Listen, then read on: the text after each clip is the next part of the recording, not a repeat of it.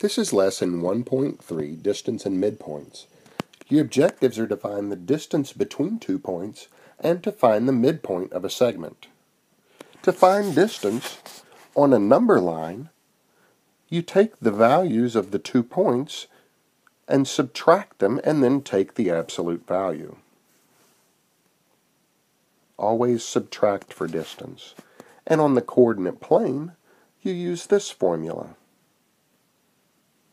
Notice again the subtraction, the squares, and everything is under the square root.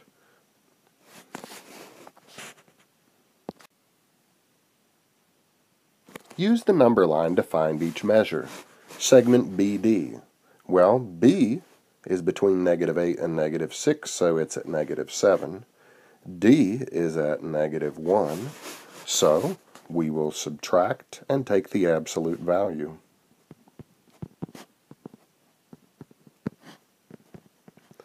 Negative 7 minus negative 1 is negative 6, and the absolute value of negative 6 is 6.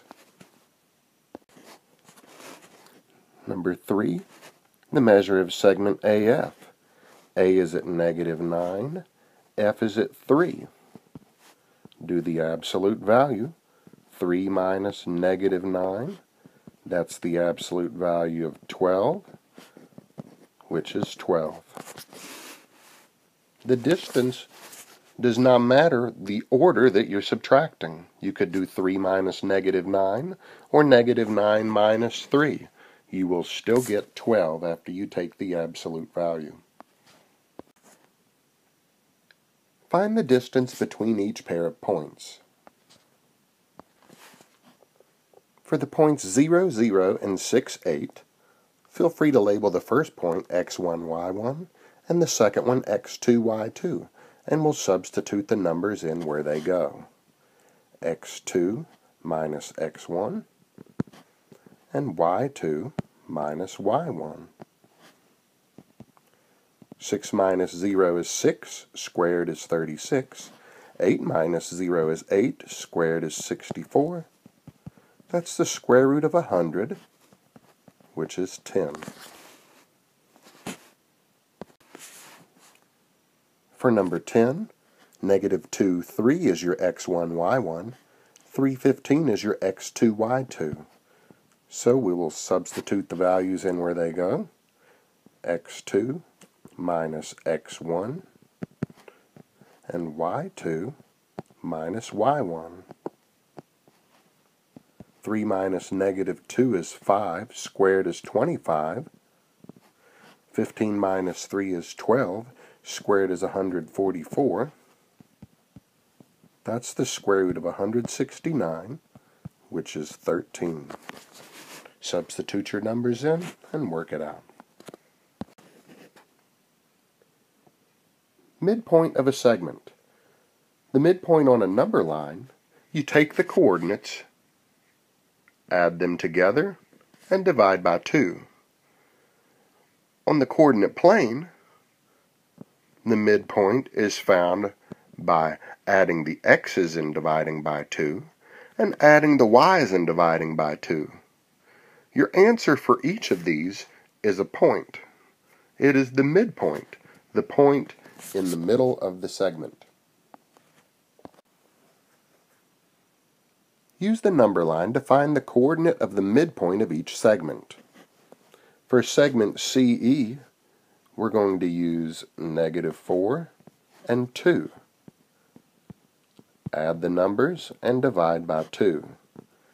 That's negative 2 over 2, which is negative 1.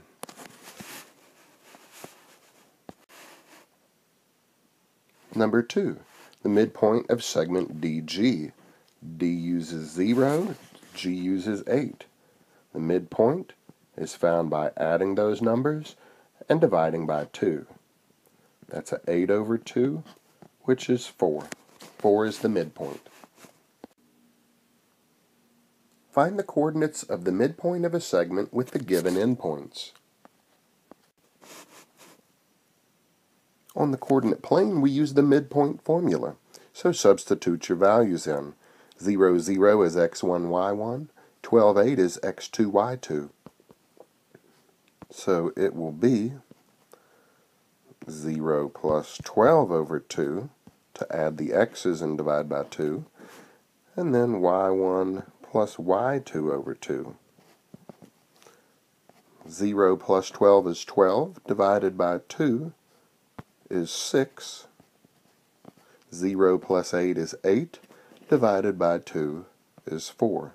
The midpoint is 6 comma 4. It is written like a point in parentheses, like an ordered pair. For number 10, negative 12, 8 is x1, y1. 6, 12 is x2, y2. Put the numbers in the midpoint formula. x1 plus x2 over 2, comma, y1 plus y2 over 2. Negative 12 plus 6 is negative 6. Divided by 2 is negative 3. 8 plus 12 is 20. Divided by 2 is 10. Negative 310 is the midpoint. Let's look at three more questions. Up until now, we were given the two endpoints, find the midpoint. Now, we're given one endpoint and the midpoint, find the other endpoint. If you know one endpoint and the midpoint, it's very easy to do and you don't even need the midpoint formula. Look at the x values. From 2 to 5, you added 3.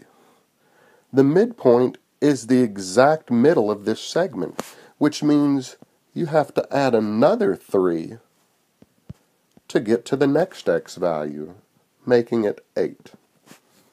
Look at the y's. From 0 to 2, you're adding 2. Well, add 2 more to get 4. So 8, 4 is your other endpoint. Find the distance apart from the x's and the y's and go that same distance again to the other endpoint. On this question, n is one endpoint, p is the midpoint.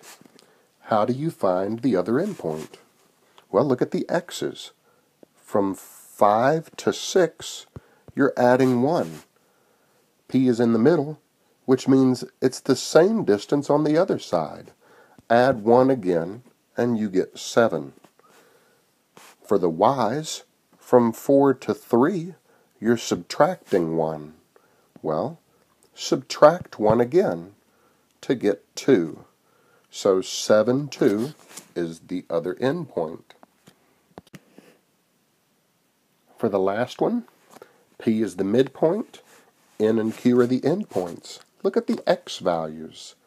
From 3 to negative 1, you're subtracting 4.